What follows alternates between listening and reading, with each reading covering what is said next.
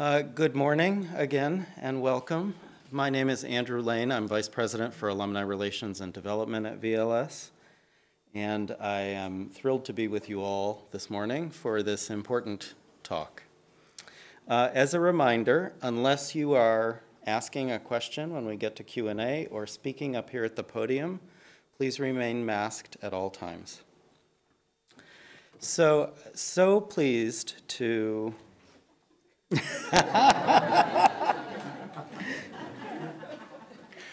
Welcome you to the annual State of VLS address, during which you will hear an update on the school and the vision for the road ahead. We will leave ample time for questions at the end of the presentations. And please also note that this event is being recorded and will be shared uh, online for swans who can't be with us here in person today. Uh, before kicking things off, I want to acknowledge two very important people in the audience, VLS Board Chair Glenn Berger, Class of 78,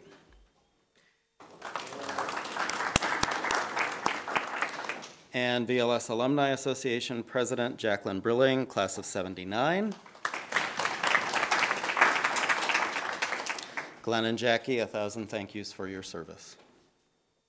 This morning's first speaker is Beth McCormack a graduate of the University of Chicago and the Boston University School of Law, Beth joined the VLS faculty in 2011 and later served as Vice Dean for Academic Affairs and then Vice Dean for Students.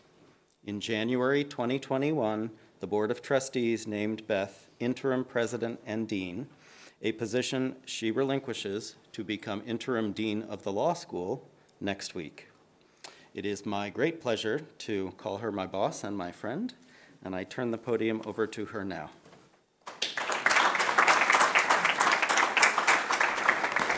Good morning. Let me just hear from this group. How many JD alums do I have?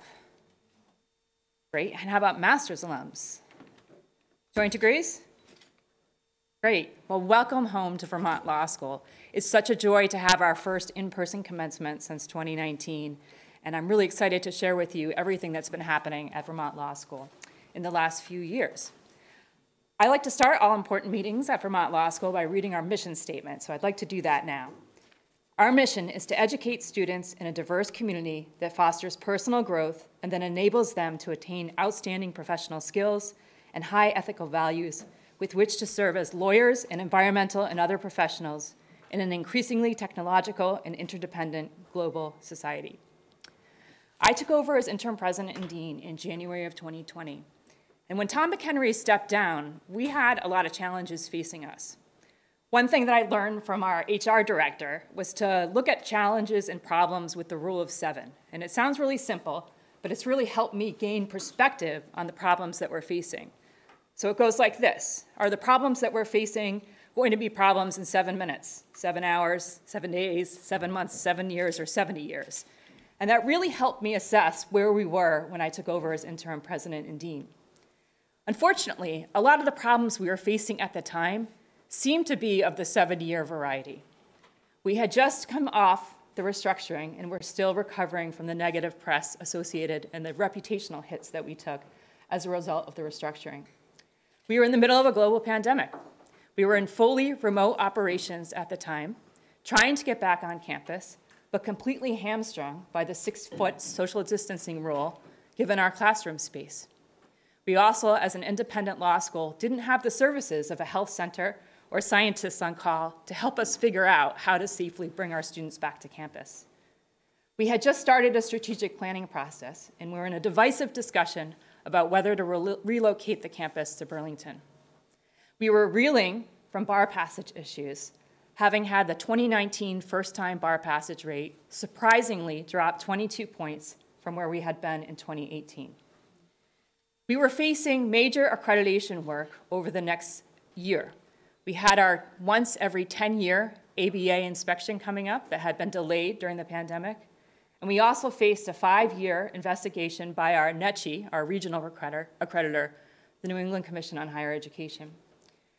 It seemed like a lot of those problems were seven year problems, maybe even 70 year problems. But thanks to the leadership of the board and the work of the senior leadership team, I think we've stabilized the school, and I'm really excited to announce the accomplishments that we've made and our plans for the strategic direction of the school. I want to first acknowledge some of my mem the members of my senior leadership team who are here today. Not everyone is here today, but Lorraine Atwood is, our Vice President of Finance, Jenny Rushlow, our interim dean of the graduate school and director of the environmental programs, and Stephanie Clark, our director for the Center for Justice Reform, and our newest member, Lisa Ryan, our associate dean of diversity, equity, and inclusion. For those of you that hear Lisa's title, don't worry, Dean Shirley Jefferson is still here, and you'll hear from her later today. Um, and she's still very much part of Vermont Law School.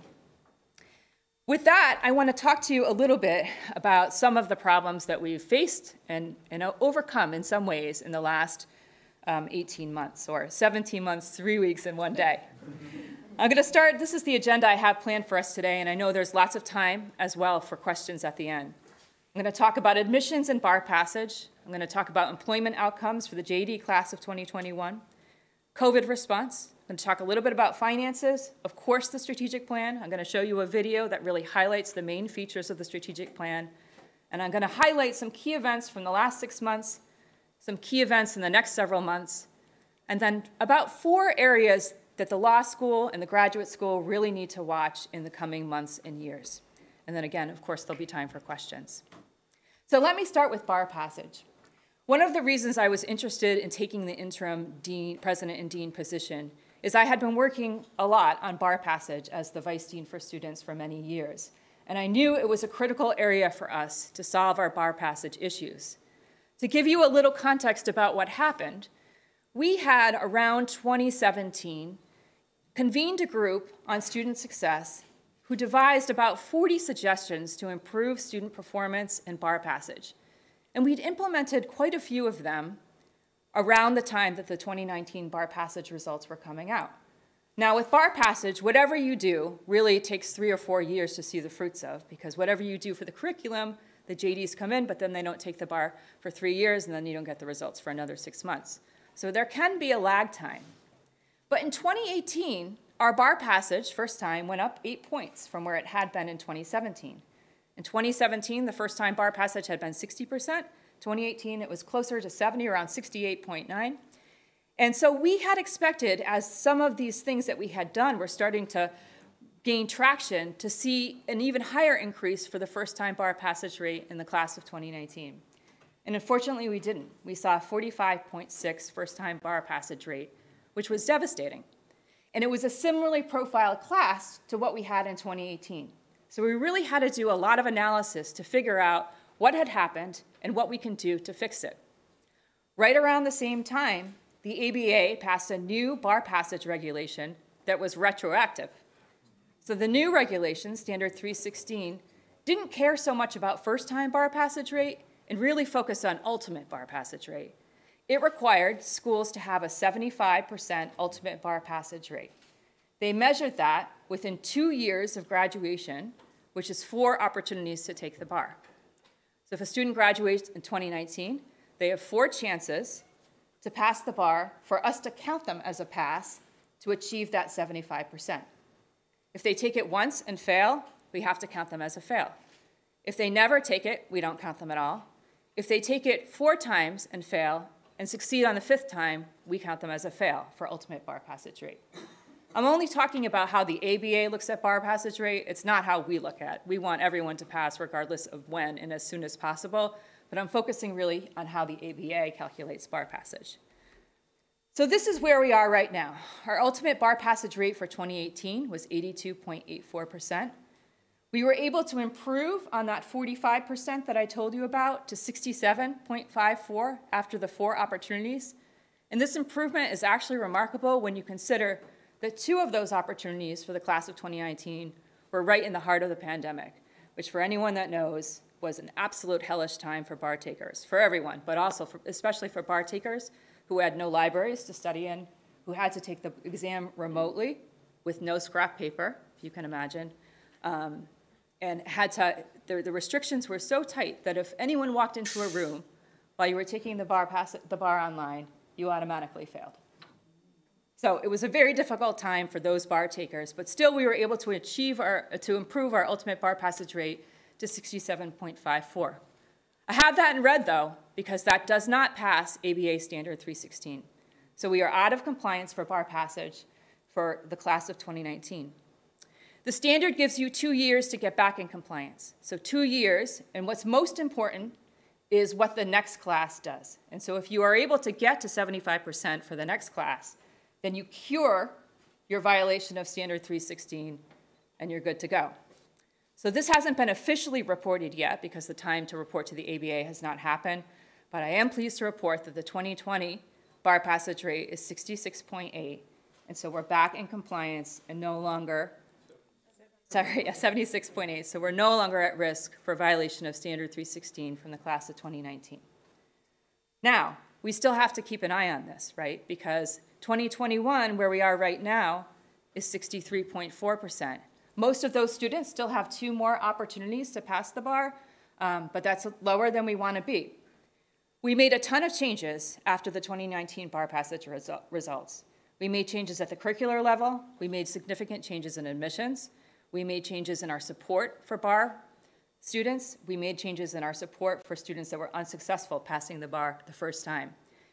Um, it's hard to tell what's working or not at this point, but our 2021 results are still 63.4. One of the reasons that I'm really excited that uh, incoming President Rodney is joining us is that I know that he has had tremendous success, success at his uh, prior institution at improving ultimate bar passage rate. Even though his first time bar passage rate was very similar to ours, his ultimate has outperformed us. So we have an opportunity to learn from Rodney here. I also love that Rodney took the bar recently. How many years ago? Seven years ago. So um, to have the perspective of a professional like Rodney sitting to take the bar and telling our students what a difficult task it is, I think will be really important to changing the culture of bar passage around here. I mentioned that one of the things that we did differently was change our admission standards to make sure that the students we admitted had the best possible chance of passing the bar based on long-standing studies about um, undergraduate GPA and LSAT and how they predict bar passage success. We still tried to keep a holistic view of admissions and not unfairly um, only look at LSAT, but we did change and, and, heighten our admissions criteria to make sure that we, our students would have success.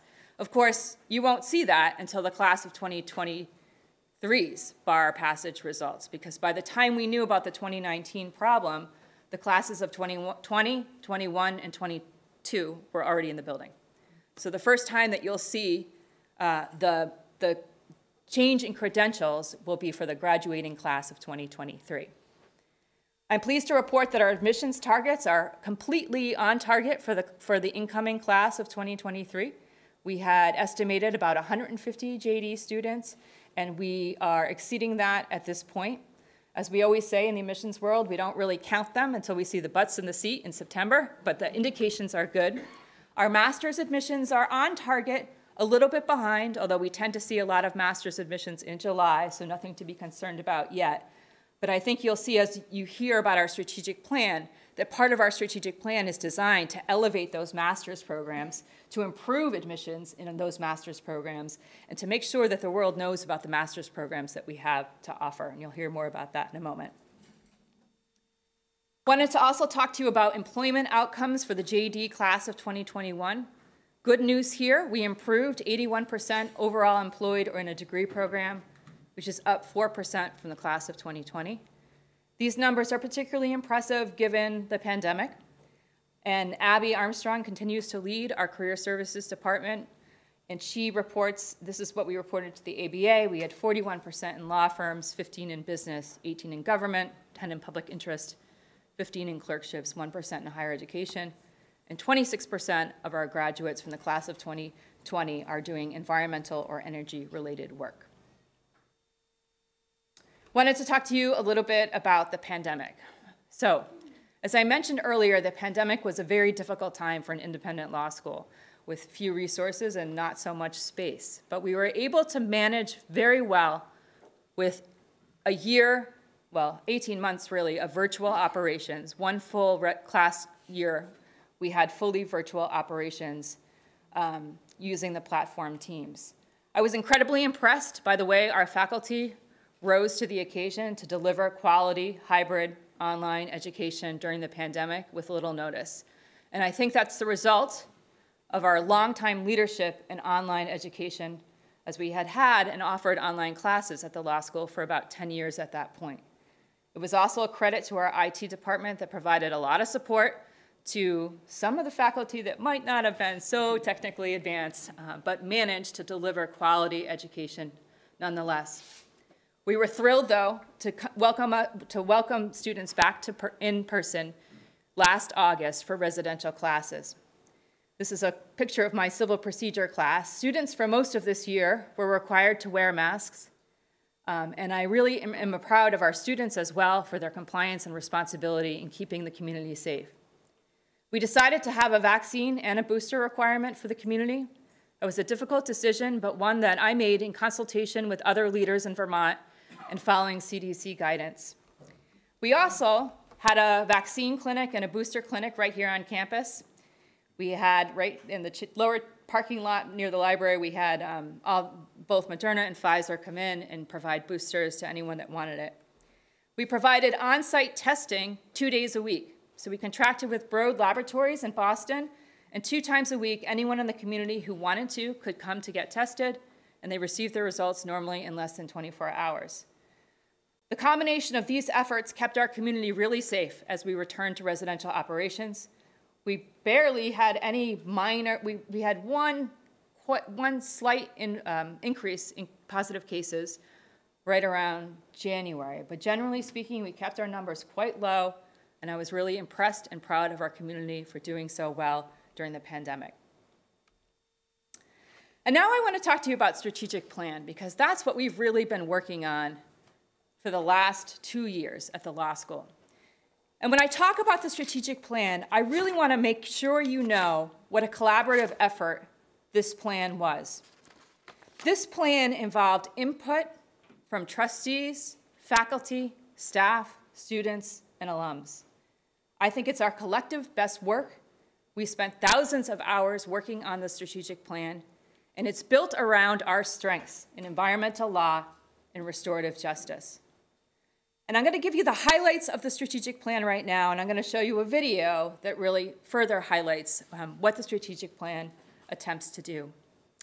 The strategic plan also enjoyed near unanimous support from those constituencies, so the faculty, staff, and Board of Trustees voted near unanimously to support the strategic plan. In general, or at a high level, the plan splits the president and dean position and hires a new president. We had to develop, gain approval from the ABA, and implement part-time online hybrid JD program. We changed the structure of the institution so that Vermont Law School and Vermont Graduate School are two schools on equal footing under Vermont Law and Graduate School. I want to make clear, as you all know, we've always had master's programs here. We've always had graduate students here. But now, by having this separate school, this separate graduate school, we really bring attention to our graduate programs so that we're more visible to prospective students, donors, funders, and the world. So the plan builds upon the strengths that we already had.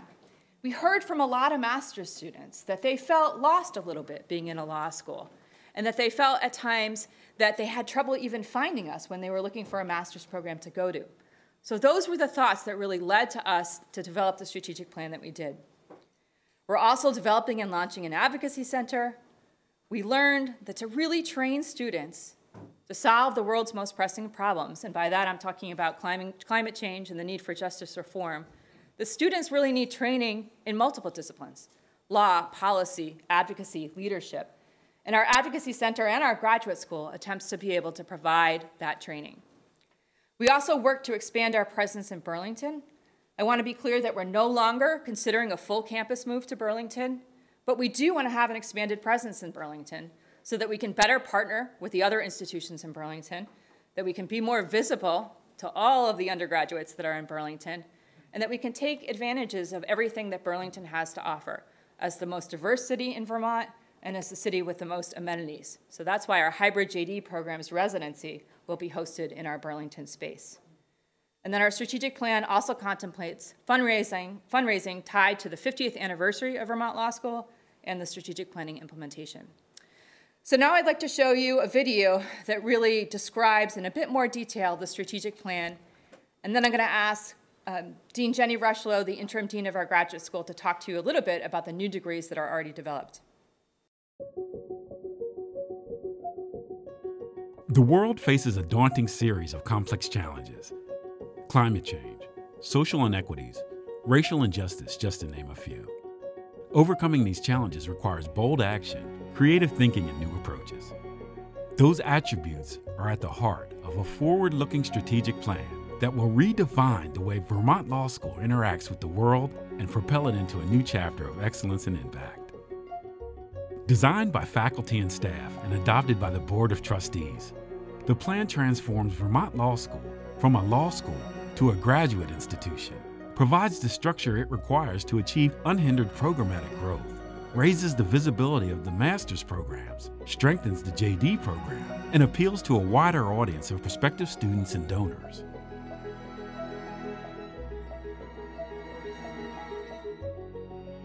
Becoming a graduate institution will provide the foundation needed for unhindered programmatic growth, raise the visibility of the master's programs, strengthen the JD program, elevate the school's world renowned environmental program and first of its kind restorative justice program, and appeal to a wider audience of prospective students and donors. Importantly, the new structure will allow Vermont Law and Graduate School to pursue increased enrollments and maintain the flexibility to more easily add programs and degrees in response to market conditions and enrollment trends. I think that we're seeing a real expansion of what people want to do at a graduate level as professionals. And while having a law degree and a Juris Doctor is instrumental in lots of different fields that people want to go into to practice as an attorney or to be a policymaker, there's all sorts of occupations and professions that, that need a graduate level of training but don't require a JD and it allows students to really specialize. It's never been more important to address the issues facing our country today climate change and justice reform. And by creating a graduate school, we are giving more access to students who can learn the tricks, the trades on how to create law and policy my hope in creating a grad school and a more encompassing program is to increase access to education and knowledge to everyone.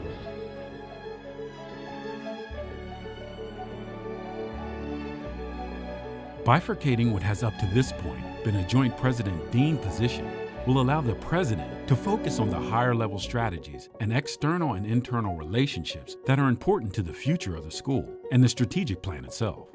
Chief among their responsibilities will be securing transformational gifts and championing a comprehensive fundraising campaign. The plan also establishes separate dean positions for both the law and graduate schools. This new structure just reflects what we've long been. So we've always been a graduate school it's just gotten lost in the law school. And so now, by having a separate graduate school with a graduate school dean, and then the law school with the law school dean, and then the president overseeing it all, we're um, going to be an institution that is managed in a way that's similar to other universities that have graduate schools and law schools. In April, the Board of Trustees announced the hiring of experienced leader in higher education and nationally recognized scholar, professor and litigator Rodney Smolla as Vermont Law and Graduate School's first president. The board also extended Beth McCormack's term as interim law school dean and named Jennifer Rushlow interim dean of the new graduate school. Both will serve in those roles through the 22 23 academic year while national searches are conducted.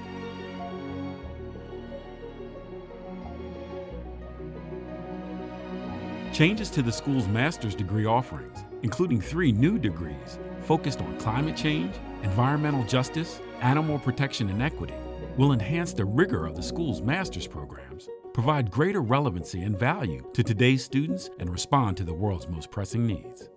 The new degrees are a Master of Climate and Environmental Policy, residential and online, Executive Master of Environmental Policy, online only, and Master of Animal Protection Policy, residential and online. These new degrees are public policy degrees and feature a robust set of core and environmental policy courses. I'm really proud that we're going to be offering such a rigorous policy education so that when students come to our school, their policy degree rivals the best public policy schools out there, plus the benefit of being keenly focused on what drives them to do this work, which is the environment, animal protection, climate, environmental justice, restorative justice, these areas of public interest and social justice where we really shine. This new curriculum, aspects of which will also be added to the existing Master of Energy Regulation and Law and Master of Food and Agricultural Law policy degrees, will produce graduates with increased practical skills and enhanced career prospects.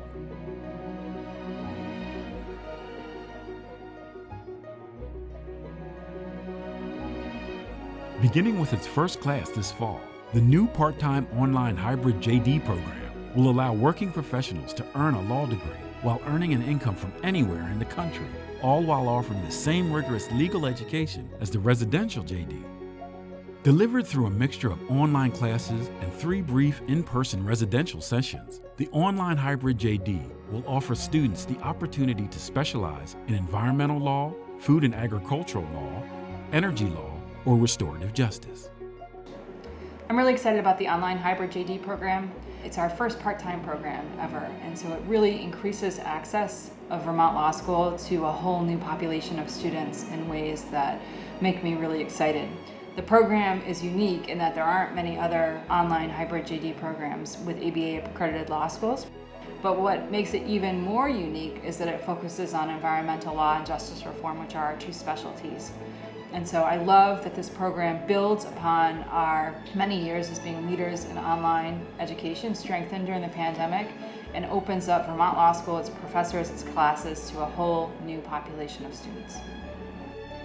Basing the program at the school's Burlington facility leverages the city's proximity to the largest legal and student communities in Vermont, as well as the convenience of being near an airport and ample hotel options. Vermont Law and Graduate School was created to shine in this moment, and the alignment of its strengths with the world's focus on the climate crisis and justice reform puts it in an extraordinary position to effect change. We're at a time in world history in which everyone on this planet desperately needs a solution to climate change. And we're at a time when all of our institutions are tested with regard to their commitment to social justice and the rule of law. Never in the world's history has the Vermont Law and Graduate School meant more to society in this state, in this country, and across the globe than it means right now.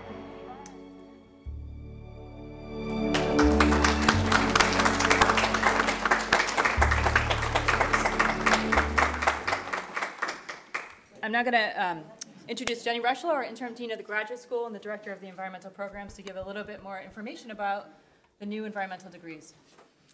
Yes, so we're we're very excited. We've been working really hard on developing these new environmental degrees. VLS was the first law school to have a master's degree that was accredited by the American Bar Association, and we've continued to be at the forefront of delivering education to master's students in that space. But as you know, those of you who are practicing in this area, this is a very dynamic field. And while we used to be the only one, there are a lot of other people at the table now. And so we need to be really thoughtful about what makes our degrees unique, what attracts students, but also what is environmental policy today, what are the credentials and experiences that students need to have while they're obtaining those degrees. And so this has really been an opportunity to refresh and think about how to enhance and grow this part of our student community. So the biggest change that we're making is that we are retiring the Master's in Environmental Law and Policy and growing instead to have a Master's in Climate and Environmental Policy, which is a 34 credit degree, an environmental policy degree that is that is really tied to climate change policy and environmental justice at its root. There will be three concentrations if students want to have a concentration, one in climate change, one in environmental justice, and another in ESG. And um, a, a big change for that degree from the MELP is that there will be a pretty solid base of core requirements around public policy skills.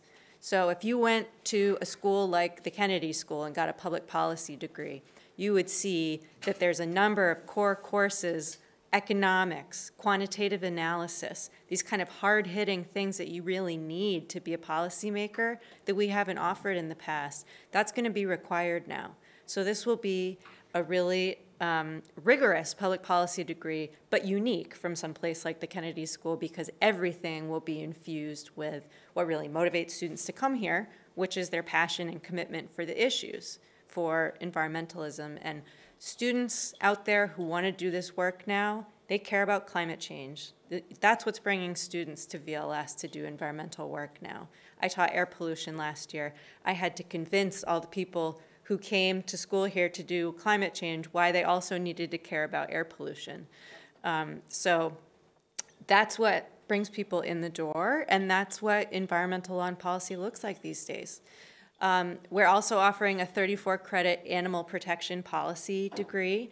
And if you have any questions about animal policy and what that means, we have a fantastic new professor, Delcy Winders, who's going to be at the barbecue later, who we snatched from Lewis and Clark, um, who has already built a world-class animal law and policy program here.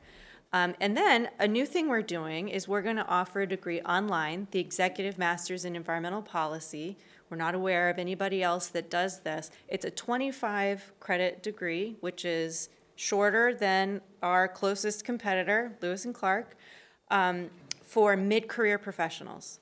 So while our 34 credit policy degree is a longer experience, more likely to be attractive to students who are um, perhaps a little closer to graduating from college and want that residential experience.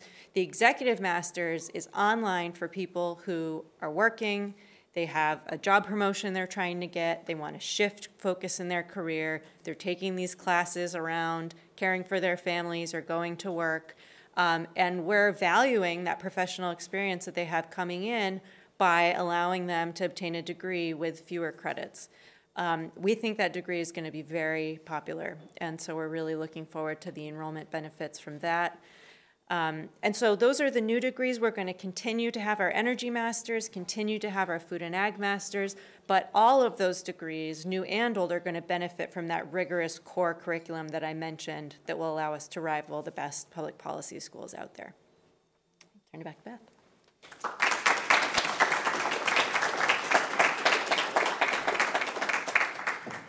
And then further good news is I told you that the faculty, staff, and board of trustees and alumni were supportive of our plan.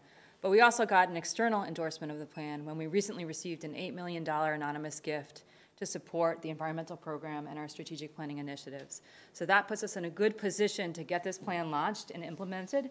It doesn't get us all the way there. We still have work to do, both in the fundraising area and, of course, with the plan implementation. But it's a good step and a real boost that the external audience is as excited by our plan as we are.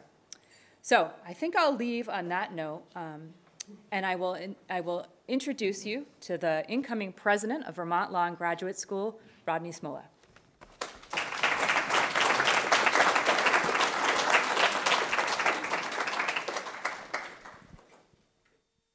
Thanks, Beth, and welcome everybody. It's a delight to um, meet you in person and see you.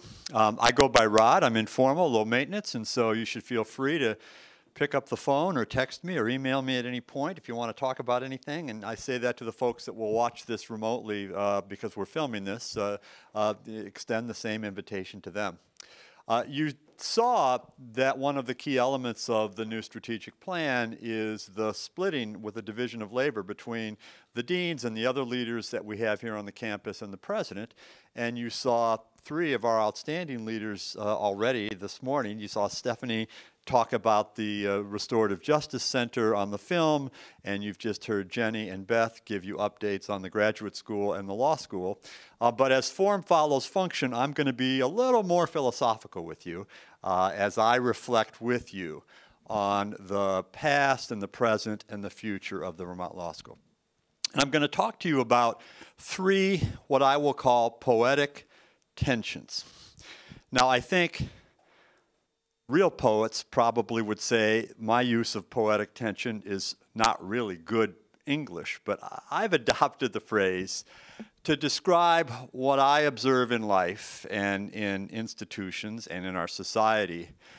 When I see us as individuals or as organizations or as a society trying to mediate and reconcile tensions not between good and evil, not between good things and bad things, there's plenty of those in our lives, but between good and good.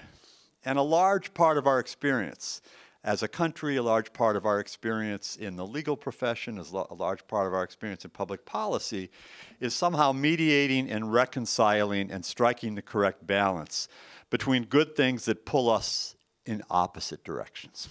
And so I'll talk about three of those as they apply to the school. And as I do that, I'm going to inject a little interlude because I can't help myself uh, reflecting about some of the poetic tensions in the United States Constitution and our constitutional experience, because I think they have an impact on the way we think and operate as a society, the way we operate in higher education, the way we operate at America's law and graduate schools. So here are the three tensions, and then I'll go into them a little more deeply. The first is the never ending tug and pull between fidelity to a plan and the need to be adaptive as you execute, execute the plan going forward.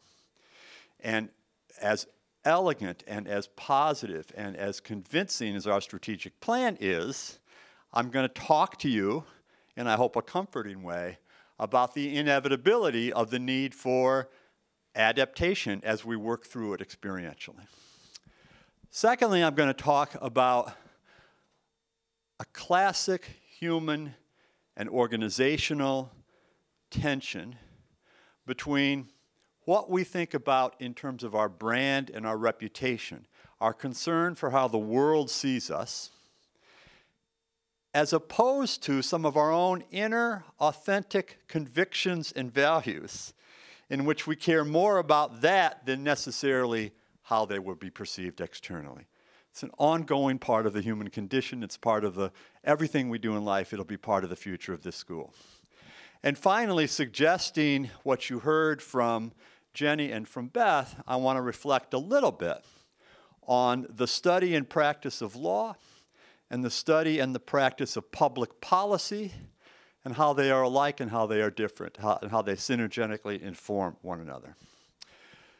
But first, a little interlude constitutional law. Now, you didn't come here for a constitutional law lecture or CLE credit. But I'm going to talk to you a little bit about some of the patterns of thought that I think inform our constitutional history and how they spill over into the way we think about so many other things in life. Quite a long time ago, I coined a phrase called the constitutional unconscious. I was kind of channeling, you know, psychoanalytic theory like Sigmund Freud and Carl Jung and so on. But that fancy title was a mask for a very, very simple idea. And the simple idea is that our constitutional history and our constitutional experience are not just law in the way that courts know law, not law the way you study constitutional law when you take it in law school, but it has a, a deeper resonance in American life. It has influenced our patterns of thought throughout many of our institutions. It has in, in influenced the way we think, the way we, it's the DNA of our country in many, in many ways. And it has had a particularly profound influence on higher education. My theory about American universities, public and private, is that they were a real break from the European traditions of what a university is. And that break was influenced by our constitutional structure. If you think about it, some of the basic attributes of our Constitution are mirrored very much in the way universities and law schools and graduate schools are organized. We have separation of powers in the Constitution. Well, so do we at universities. We have boards, we have presidents, we have faculties, we have students, and they each claim certain rights of sovereignty and certain checks and balances powers on one another. We have notions of federalism in the Constitution, the national power versus the local powers. And that exists in universities. It exists at the Vermont Law and Graduate School, where we may have a central administration, but now two schools and then many sub-programs beneath them. And we have notions of rights, claimants, people that say, I have some independent right here as a faculty member or as a student or as an alumni member. And so those patterns that have kind of created our constitutional experience have seeped over into the organization of American universities.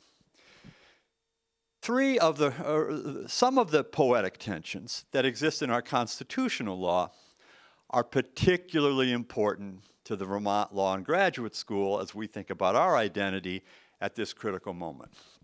And I'm going to first mention the very first one I talked about. So if, if you were to ask me, a student of constitutional law, someone who's taught it for 40 years, litigated in courts across the country, written about it a lot, what I would identify as the defining poetic tension of American constitutional law it is the central question of whether our principal fidelity and loyalty should be to words written in the Constitution and their application as they were understood at the time of the writing. So, it, so what the framers of the Constitution would have decided about the issue we're dealing with right now or do we interpret the Constitution in a very different way? Sometimes this is caricatured as treating it as a living Constitution. I don't think that does it justice. I think the better way to think of it is to say the people that wrote these words, the people that created due process of law, the equal protection of the law, freedom of speech, they were enacting principles they were enacting concepts. And they may not have seen the necessary implications, consequences of those concepts in their time in the same way that a future generation might see them.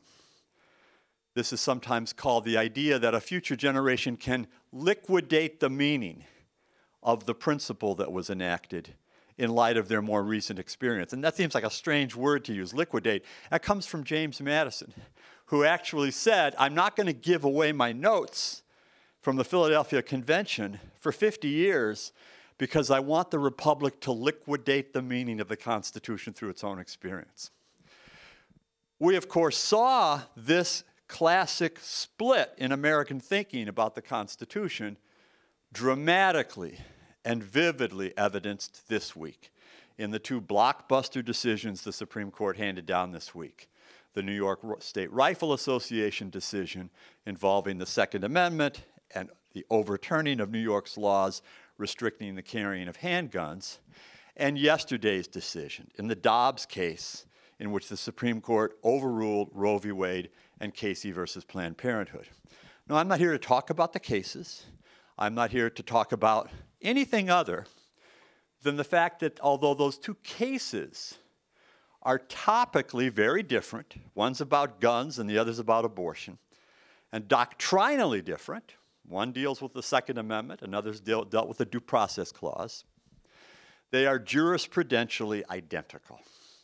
Because the majority of the court in both cases said, we will interpret these provisions by asking ourselves what did those folks who wrote the Constitution mean and how would they have applied it back in the day when they wrote it? A little constitutional law. There are two dates you could pick. One would be 1791, when, for example, the Second Amendment was ratified and the first Due Process Clause was ratified. The other would be 1868, when the 14th Amendment was ratified, because the 14th Amendment is technically the vehicle through which we apply the Bill of Rights to the states. More than you need to know. The court didn't have to pick between those dates in these two cases because they said it wouldn't matter. It wouldn't matter. We are sure that at both times, those who wrote these provisions would not have permitted New York to restrict guns in the way New York has done it. And we are sure that both times, those who wrote those provisions would not have treated abortion as a fundamental right. Now, let's contrast that with a different way of approaching the law and a different way of approaching the Constitution. Then my little mini con law lecture will be over and we'll get back. The, the other example that I've already suggested is that you don't look at how those folks who wrote it would have solved the problem. You look at what the larger principle is that they were adopting. And now you, applying that principle in light of current sensibilities, solve the problem. And believe it or not, these two approaches, though we may have now come to think of them as the first approach aligned with conservatives and the second approach aligned with liberals on the Supreme Court, it ain't necessarily so. In fact, over history, conservatives and liberals have, from time to time, been gravitated to each of the two sides. So the notion of looking at the principle, probably in our lifetimes, was never more famously or significantly adopted than in the Obergefell case, the same sex marriage case, where Justice Kennedy's opinion for the court, Justice Kennedy, a moderate, middle of the road conservative, said it is the nature of injustice that we are often not able to perceive it in our own times. He was conjuring this second idea of principle. But interestingly, two very stalwart conservatives on the court have from time to time embraced the principle. Justice Antonin Scalia, the icon of modern conservative jurisprudential thought, and Justice Neil Gorsuch, a more recent appointee on the court, both used the second principle that I've described to reach very progressive results in cases. Justice Scalia, when he was on the court, wrote for the court in a case called Oncale versus Sundowner with this, this question Does Title VII of the Civil Rights Act of 1964, which the court had interpreted includes a prohibition on harassment, racial harassment, sexual harassment. Does it include harassing by an, a superior to a subordinate who are of the same sex? So, is male on male sexual harassment prohibited by Title VII? And Justice Scalia said, I know that the folks that wrote the Civil Rights Act of 1964 never would have dreamed that this would prohibit that sort of discrimination, that sort of harassment. But that's not what governs. What governs is the policy they enacted. What governs is the principle they enacted. And we've held that discrimination includes harassment. And when you discriminate on the basis of gender, even if it may be a male who is who is harassing a, another male with a sexual come on, that fits the principle. Therefore, it's, it doesn't matter what those who wrote it would have, how, how they would have applied it. This is what it means. And, and more recently, in another very progressive decision, uh, two years ago, in a case in which the court um, was led by Neil Gorsuch, who wrote the opinion of the court. It involved a question that had vexed courts since 1964. Does the prohibition on discrimination based on sex include discrimination based on sexual orientation? So if you discriminate against someone because they are gay or lesbian or transgender, is, is LGBTQ discrimination covered by the Civil Rights Act or not? And for decades, the, the, the learning had been it's not. Because what, clearly, what they were thinking in 1964 was you have men and you have women, and you have to treat them equally, and you can't discriminate between men and women. But that has nothing to do with whether you're gay or lesbian. I look around, I see men, I see women, but I don't know what your sexual orientations are. That's a whole different thing. And my goodness, in 1964, there's no way they intended to do anything to protect LGBTQ people. It was a crime to be homosexual in most of the states of the United States. Um, it was unthinkable that that's an application that they had in mind. But Justice Gorsuch, very influential modern conservative, said, does it matter? LGBTQ discrimination violates Title VII. And he gave a simple, elegant, mathematical explanation. Some of you may remember there was once a movie called Rocky. More of you would know Rocky 3, Rocky 4, Rocky, you know, but in Rocky, there's this moment when Sylvester Stallone says, It's simple mathematics. You're hanging around with yo yo's, you're going to be a yo yo, all right? well, Justice Gorsuch basically said it's simple mathematics. He says, Look, I'll give you the demonstration. Let's say you have two employees. One is John, one is Mary. They're both married, they both have a sexual relationship. John's partner is named John. Mary's partner is named John. Now, the employer says to Mary, You're cool, you keep working for us. Employer says to John, You're not, you're fired. Justice Gorsuch said the two people were in identical situations. The sex of John determined that he was going to be fired. He said all sexual orientation discrimination is automatically sex discrimination. Now, I'm done with the lecture, but notice the elegant point. Conservatives and liberals in this country are both capable of adopting the notion that the principle is more important than the original application.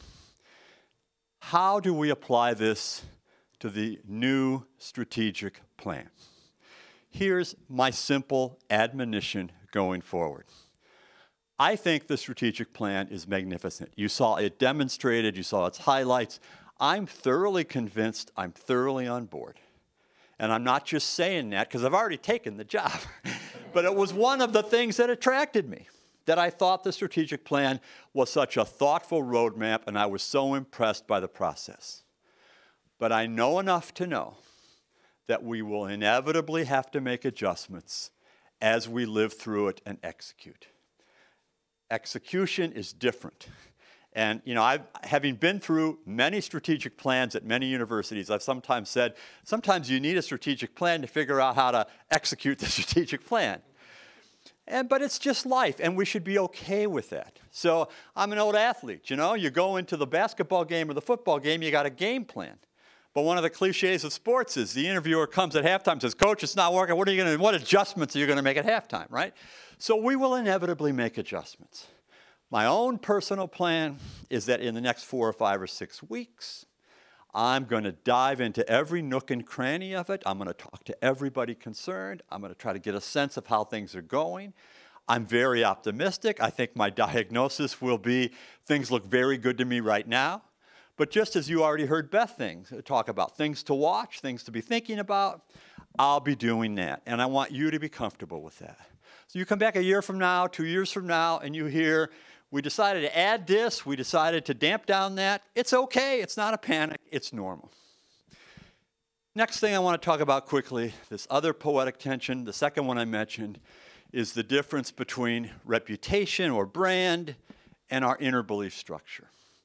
In my view, a well adjusted human and a well run institution naturally treats both as good and both as important, but has to have some sense of balance between them. So for me, the most beautiful articulation of this split comes from Shakespeare, it comes from Othello. There is a famous speech in Othello in which Iago, who's that wonderfully colorful, kind of manipulative frontman, political operator uh, for, for, for Othello and others. He makes this beautiful speech. It's one of the most famous expressions in English of the importance of reputation. And he, he says, Reputation, dear my Lord, is the immediate jewel of the soul. Who steals my purse steals trash. Tis nothing. Twas mine, twas his, and have been slaves to thousands. But he that filches from me my good name robs me of that which not enriches him, but makes me poor indeed. Wow. You could be Shakespeare if you could write like that. What beautiful, beautiful encapsulation of the importance of reputation as the immediate jewel of the soul. But what I love is that several scenes later, in the same play, the same character, Iago, says something dramatically different. He's speaking to Cassius, and Cassius is freaking out because he feels his reputation has been damaged. He's going, Reputation, reputation, reputation. And Iago interrupts him and scolds him. And he says, Reputation? I thought you'd receive some bodily wound. There is more offense in that than reputation. Reputation is an idle and most false imposition, oft got without merit and lost without deserving. You've lost no reputation at all unless you repute yourself a loser. What a great line that is. How many times have you maybe had to say to your kids, I know you think everybody hates you, but you're not a loser, you're a winner. And I don't want you thinking you're a loser. but it captures this beautiful notion that sometimes we do what we do to aggrandize the market, to protect our reputation. It is the jewel of our souls. But we also have to have some faith in who we are as authentic persons. So, do we care about our reputation at the Vermont Law and Graduate School? Well, of course. We care about our ranking in environmental law. We care about our ranking in U.S. News and World Report. We care about admissions. We care about donors. And we know that how we are perceived is critical. But at the same time, we never want to lose sight of who we authentically are. The idea that you heard Beth say that now we open every official meeting of the Vermont Law and Graduate School with the reading from the mission statement is a reinforcement of who we are. And you all are the ultimate testimony to who we are the graduates, the alumni, in this room and watching virtually. The lives you've lived of consequence and meaning, the impact you've had, the service you've done to clients, to public agencies, to others, that it reflects the values that you absorbed here and you carry forward with. I'll end with the final poetic tension the tension between the study of law and the study of policy, which you see embodied structurally in the School of Law and the graduate school. So on this one, just tell you a little war story because I'm a litigator. I love, I love arguing cases in court, state and federal courts around the country. I'll tell you a quick story uh, about a recent case I argued. You'll see the connection. This happened to be a case in the Supreme Court of Delaware, and I argued it about three weeks ago. Uh, I argued it twice. First, I argued it in front of three Delaware Supreme Court justices. There are five on the court. But then the court decided the issues were too difficult. They wanted to have it reheard with five justices en banc. I argued the case the first time the day after I interviewed for the job here at, on campus at the Vermont Law and Graduate School. I was sweating it out because I knew I had this oral argument scheduled in Delaware. And I had it figured out. I can get to Vermont, I can do the interviews, I can finish, and then I'll drive back to Delaware, and the next morning I'll be at the Delaware Supreme Court. But then somebody told me a little thing called the mud season, and, and, there was snow on the ground. And I began to think, what would happen if I couldn't get back to Delaware? Well, I was taken off the hook because a week and a half before the argument, the court said, We've had a resurge in COVID. We're going to move the arguments back to, back to Zoom. You can do it remotely. So, interviewed here, drove across the river, checked into the Hanover Inn because they had really good Wi Fi, and, and, and argued the case remotely. Then I was very fortunate to get the position as president. Uh, I, Delaware is a small state like Vermont. You get to know everybody. I knew all of the five Supreme Court justices well, serve on committees with them, serve on commissions with them, do ceremonial events with them, and so on. So I happened to be at a lunch with the Chief Justice right after I found out, number one, I was going to have to argue this case a second time, and number two, that I was coming to Vermont. And I had announced it, and I was the lunch luncheon partner of the Chief Justice. He was sitting next to me. And he said, Well, congratulations. We'll hate to lose you. Congratulations. I'm glad you're going to Vermont. He said, My daughter has two degrees from the Vermont Law School. she, she has a JD degree and a master's degree from Vermont Law School. And he says, We used every excuse we possibly could to go visit her. He said, Here's, he gave me a list. You got to go to the Barnard General Store. You know, everything, uh, everything he wanted me to see. So that was very gracious. Three weeks later, I'm arguing in front of the Delaware Supreme Court. And of course, now it's a whole different thing. Everybody's got their professional faces on. You disregard all the fact that you know folks. It's totally, totally impersonal and professional. The case was a fascinating intersection of very difficult issues of public policy and very difficult issues of law, First Amendment law, reputation, all these things. And it was a rock'em sock'em argument, the kind I love, and back and forth, back and forth with the first, uh, with, the, with, the, with the appellant's lawyer, who was terrific. And then I get up there, back and forth, back and forth, back and forth, and the justices are zeroing in on this connection between law and policy. And somehow out of, out of, out of my brain, I said, Well, Your Honors, you know, sometimes American life has been best viewed by people from other countries that come here and observe us. And one of the most famous examples is Alexis de Tocqueville, who wrote this famous book in the 19th century called Democracy in America. And he wrote this sentence. He said, Scarcely does any political question exist in the United States that does not ultimately become a judicial question. What a truth. I mean, our entire identity as a nation is wrapped up in political debates, like all of the debates we're having this week, which take place in our political forums, in our cultural forums, in our judicial forums. So I did that quote, and the Chief Justice, for a split second, broke character and gave a big smile. And then he went right back to the poker face. Now, may, I think it was probably because he's a student of American literature and American history, he liked the reference. But in my heart, I'd like to think, not what you're thinking, oh, he's going to vote for me. It wouldn't be so crass, all right? But that somehow it was a sort of kind of mission from God, if you remember the Blues Brothers, little whispering that the school's doing the right thing, that it is true that law and policy are indissolubly linked. I know that a lot of folks here and over the generations here have dedicated their lives to justice, to environmental justice, to social justice, to restorative justice, to the idea that we stand for something, stand for something bigger than ourselves. And I hope that will always be the guiding principle.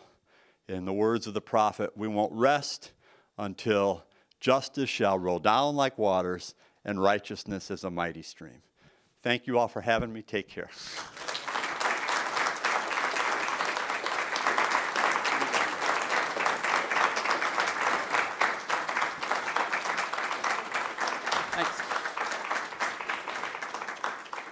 Okay, so we have about 20 minutes for questions, and we invite you to raise whatever it might be that's on your mind. If you would like to lob your question to Beth, that's fine, or to Rod, that's fine, or to both. Uh, so who wants?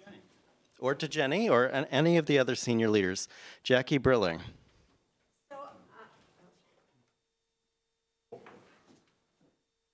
Thank you. I would like to lob it to all three.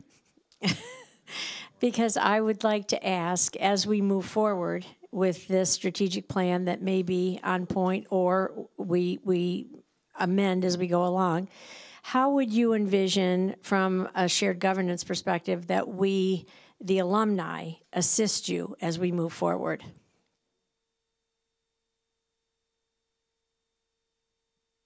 you know, as, as I learned as a Chicago boy about voting, which was early and often, um, early, early and often. I mean, I think you should feel complete freedom, you as the leader of the Alumni Association, as its president, and everyone that you represent, to feel no hesitation to, to, to give us your observations. And, you know, it's, it's, a, um, it's a large group of alumni with different values, different views. Not everybody's going to agree with everything. Not everybody's going to understand anything. But I, I believe that um, all of the constituency of the school have to have an active voice and feel very comfortable and safe in exercising that voice.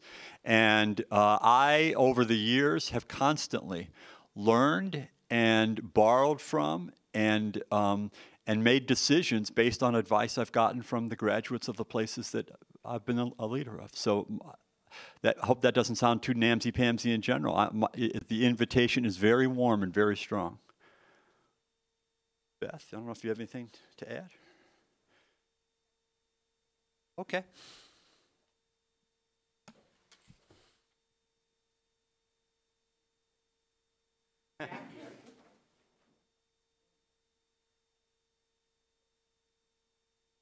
All right. I just want to say uh, thank you. Um, some of us here from uh,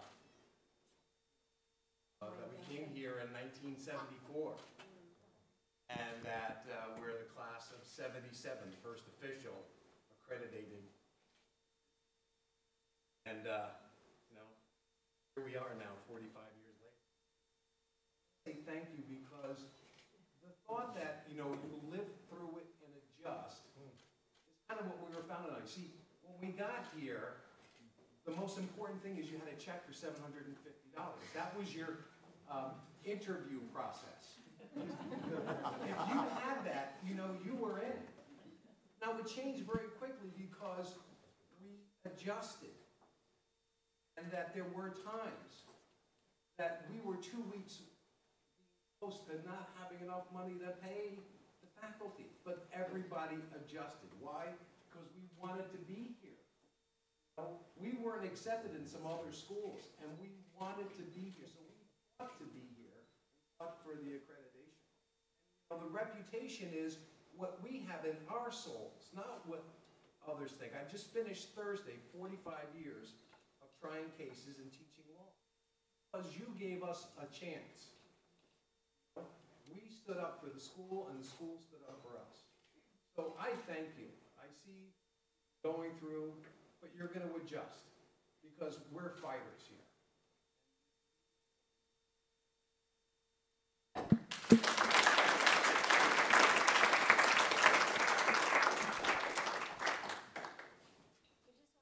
Joe and I put together the first couple of yearbooks. First year, The first yearbook, and, uh, and he just handed me a picture from, from the yearbook.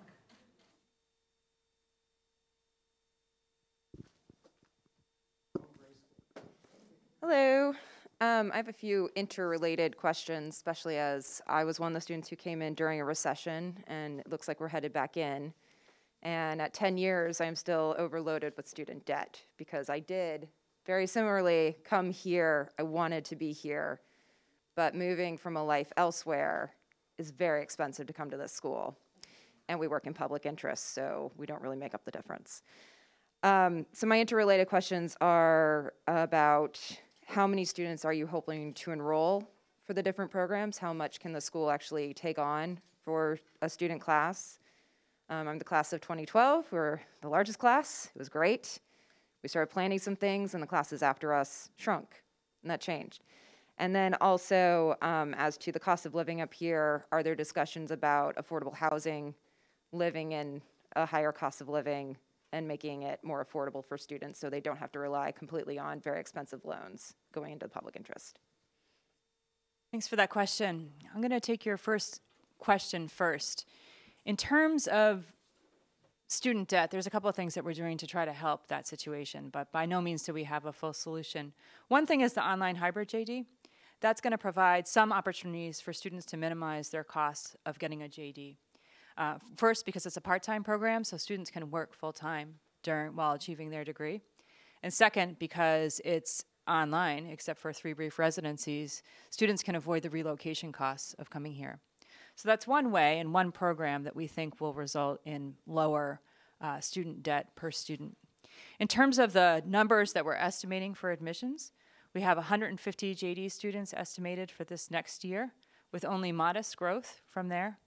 We're really still concerned about the bar passage, so we're really trying to keep that class as small um, although we would love to see more growth um, in the coming years. In terms of our master's programs, as part of the new graduate school, we're estimating about 30 new students a year over time, which would add up to about 100 students. That is something that we might adjust, just as Rod suggested, as we start to implement the strategic plan and see where things land.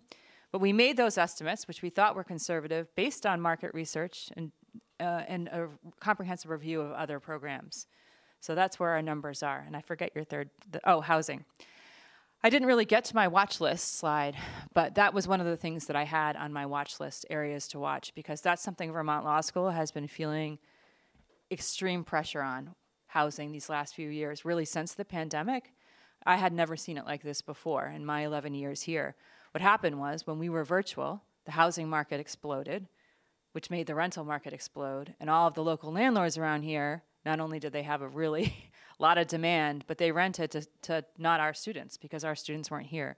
So when we returned to residential life, many of our students were unable to find apartments and unable to find affordable apartments.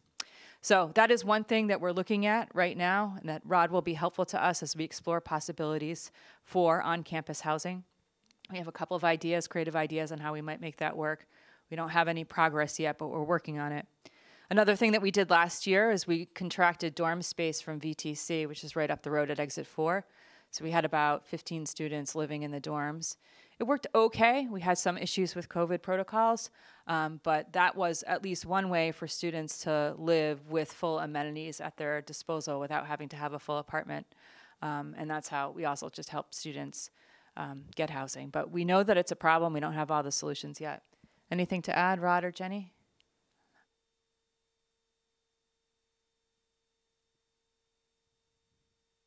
What is the current standing of certificate programs within the JD and where the, do they fall within the strategic plan?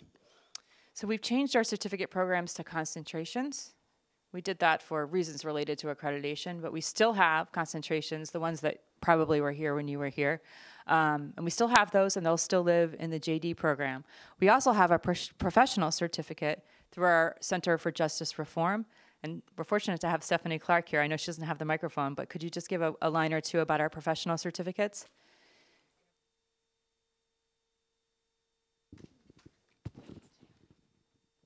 Thank you. Hi. Um, so yeah, we have a professional certificate in restorative justice. Um, it is uh, nine to 12 credits. Um, one of the things that's really nice about it is it really does borrow from our entire restorative justice curriculum, which is the most comprehensive restorative justice curriculum in the United States.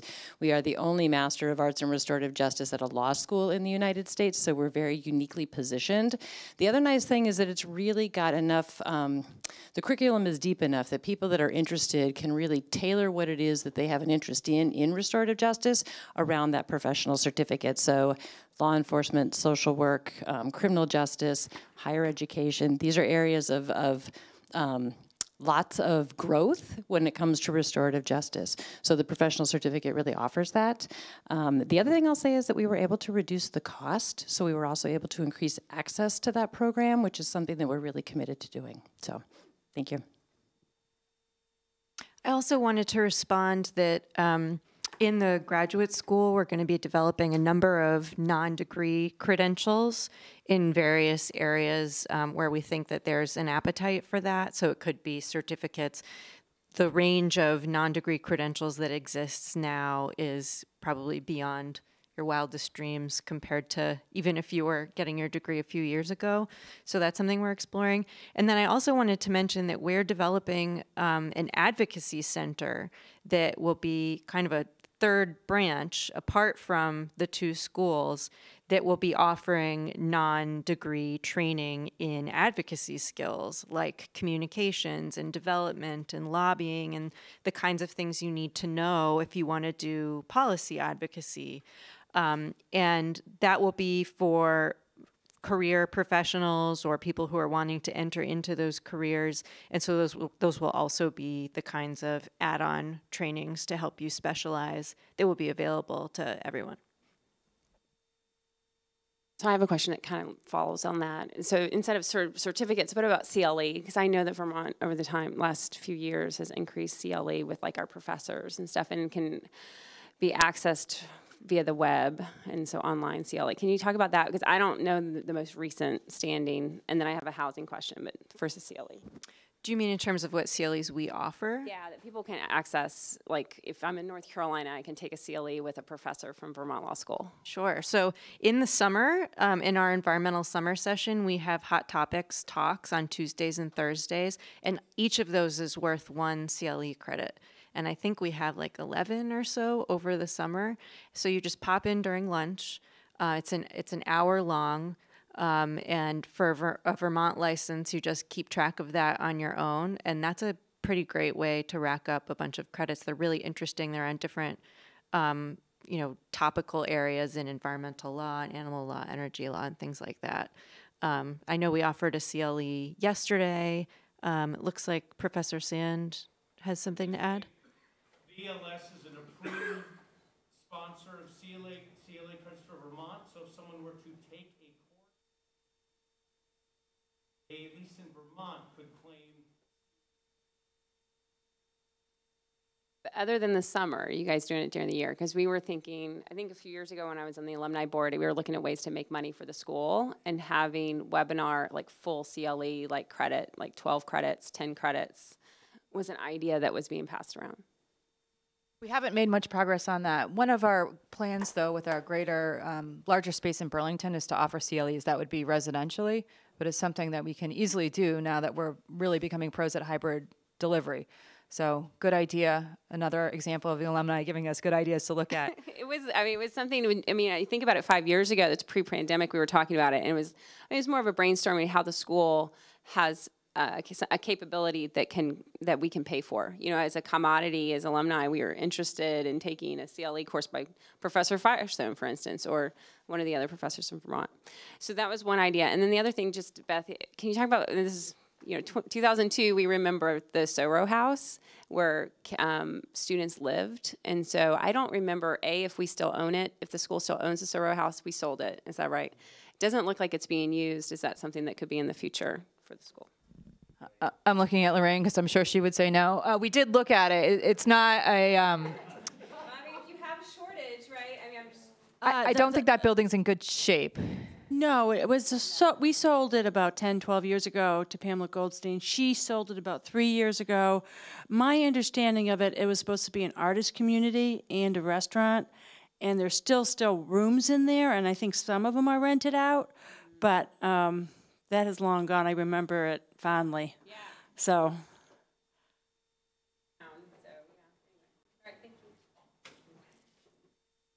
Uh, thanks for doing this. Um, and I just had a question, sorry, um, about the graduate program and how, what the plan is to, you know, build and attract faculty for some of that quantitative analysis, which I'm really excited to see as someone that works in policy, and that was kind of a gap here, so Mhm. excited to see that.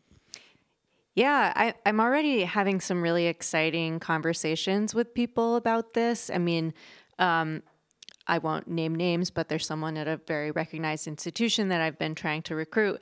And um, just in talking about, you know, we have a new degree that has climate in the name. And this is someone who's very passionate about climate and has done exceptional work in climate policy on the quantitative side. So, for people who are passionate about those issues, this is going to be really exciting to them. Um, so, I my initial conversations have been really promising in that area, and we already have a lot of people here who have policy expertise, and so there's a certain amount that we will be able to deliver with what we have. But you point to an, a perfect example of where we do need to hire.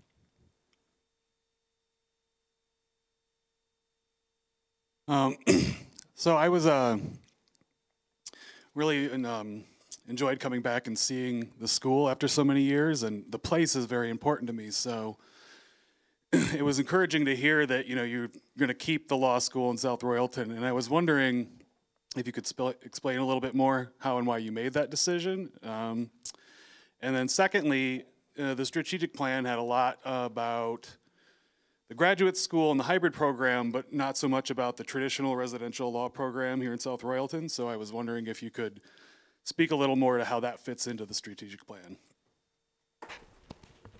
Yeah, so the the decision to not move, uh, have a full relocation to Burlington was influenced dramatically by input from our community, faculty, staff, board members, and trustees. Um, and of course, we did look at potential spaces in Burlington um, and the cost of moving and relocating and um, whatever difficulties might flow from that. And we just decided it wasn't the best for our sustain to make a sustainable future for us, at least in the short term. So it really was a decision that had a lot of input from it. In fact, Stephanie Clark led a number of restorative justice circles for our internal community to talk about it and talk about the benefits and disadvantages of moving. The Board of Trustees had a number of discussions about it. We engaged several consultants to look at what it would cost and what it would likely bring to us, and ultimately it just didn't make financial sense for us to make the move at this time. In terms of our residential JD, we believe that the strategic plan strengthens it by strengthening the overall reputation of the institution and providing a more sustainable future for us and more um, and and all of that just helps the reputation of the law school as well. But we continue to value our residential JD, um, and we continue to make that a centerpiece of our campus life here. Um, so we anticipate that all of our JD students will be able to take classes in our in our graduate school for JD credit as well. So there'll be lots of opportunities for cross registration, um, and then improving things like bar passage and all of that is very much a part of why we're doing the strategic plan in the first place. Something I'd like to add on the environmental side is I want to be really clear that we're not exporting the environmental program to the graduate school at all.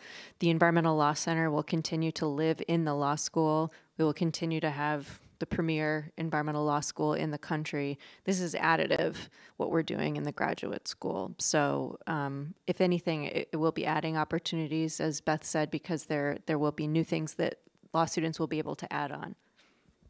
Last question. All right. Oh well, Jackie's a Jackie's a big player. Can I? Can I you want to? There's no time for two. We have two questions. Yeah, I'll go. Then I'll try to condense the nonsense because I had I had actually a, a couple things, they're, and they're just follow ups, and I haven't been back in a while. So please, any presumptions that I make, but something I'd like to see um, myself that maybe would help the school. I'm getting a sense, and I think a lot of us that were here, um, I was part of the Irene class, that was my thing. So I came here to Vermont from the New York City area, uh, and that was a big adjustment lifestyle wise. And then Irene, on top of it, was an extra big adjustment because the town kind of got ravaged, and you know, we were all in it together. And that was an interesting experience. It was like rural plus rural. Um, anyway, there are those of us that are that are diehards and devotees for this experience, and we really like it. And when I hear the things about keeping it here, I hear the things about expanding the, the programs, but I'm also getting a sense that maybe there's a little tension philosophically, and maybe this pandemic situation and the housing and have aggravated. I picked it up from a few people. It sounds like there's a little bit to me, again, it's an opinion, of sort of a town gown thing maybe a little tension there. And what I'm thinking is, in, in addition, for those of us that love this place, and those of us that want to be here as much as possible, another possibility that's kind of out there is that this pandemic has opened up a lot of remote opportunities. And a lot of people are working um, now in states for law firms and for themselves, and they're not necessarily where they are providing services anymore. Courts have switched to remote, clients are all over, people are licensed in many jurisdictions. Maybe there's a way down the road for the school to consider some sort of remote legal incubator. I'm just throwing out something I've been thinking about. A way for people that want to stay here, here in Windsor County, in the Royalton area, to maybe stay after school, get their bar, and, and work together in some sort of clinic type, or not clinic, or, or incubator, or some kind of physical place. Because really, they could stay and work anywhere. That's what the pandemic showed us and changed. I think a lot of people had that ability. And maybe some of us want to stay here. And maybe in the town gown sense, that's a way for the law school to maybe gain back some of the economic input into the town. If there was a, big business here that was lawyers after, and they didn't have to service Vermont people anymore because we know there's a, there's a shortage. It's a small state. There's not an endless amount of clients, but people now work for people everywhere. So that was just a thought, you know, something I was thinking of. And the other thing was the CLE, just to kind of this is the same kind of grain. The CLE process, getting I'd love to get my CLE credits, watching professors that I loved and missed, and everything else. Uh, as an out-of-state person who's not licensed in Vermont, I know a lot of the states have reciprocity. What's tough is the administrative part of that the follow up. Simple stuff like paperwork and sign offs and you know getting somebody to help you talk to your bar to make sure that the thing I took yesterday with Mr. Fair is usable in Jersey where it's a one to one, you know, all I have to do is sign something. But it's not like that everywhere. And and the back end of it is hard for some of us because you know it's calling boards and attorney ethics and everything else. But it's definitely doable. Um, so that's it. Those are my thoughts. I took a lot of time. Some stuff about being here, you know, remote to use the remote after law school. That's what I'm thinking about. Great ideas, Jeff, and both the CLE one and the incubator one. I will say that I think town relationships have improved during the pandemic. I think the town really missed us when we were closed, um, and I think it, it resulted in a new appreciation for the, or at least a renewed appreciation for the law school that might have diminished over time. Um, and also, the town really didn't want us to move to Burlington. And so now that we are staying here, um, I think that there's a greater partnership between town. We're, at the same time, we're trying to expand our relationship and improve our relationship with the town by making sure to, now that we're post-pandemic, continue to host events here on campus. And in fact, on July 25th, we'll be having a candidate forum open to South Royalton residents as well for the um, for the candidates for Congress. So we'll have a debate right here on campus that'll be live streamed, and members of the South Royalton community will be invited to attend. So we're hoping to do more stuff like that as we emerge from the pandemic. Uh, Thank you for giving me the last question. this is directed to the three of you again, Rod and Jenny and, and Beth. Um, with the uh, increase in the graduate school and the policy, sh- the shift to policy uh, type courses, of course, I was the ethics officer for a state agency, so I'm my question is will there be amplification of ethics courses and, and an emphasis on ethics because of this shift in policy?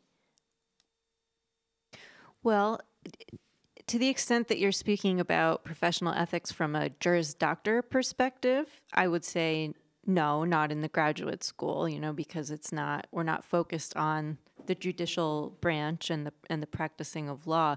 But from an ethics perspective on the development of environmental policy for the environmental degrees, I would say absolutely. Um, the you know the racial justice focus, the equity focus. Everyone's going to be required to take an environmental justice class if they're getting an environmental degree. Um, I think will absolutely enhance that. And in the for the Master of Arts in Restorative Justice, um, I I don't know if you guys want to say anything about the ethics aspect of your curriculum.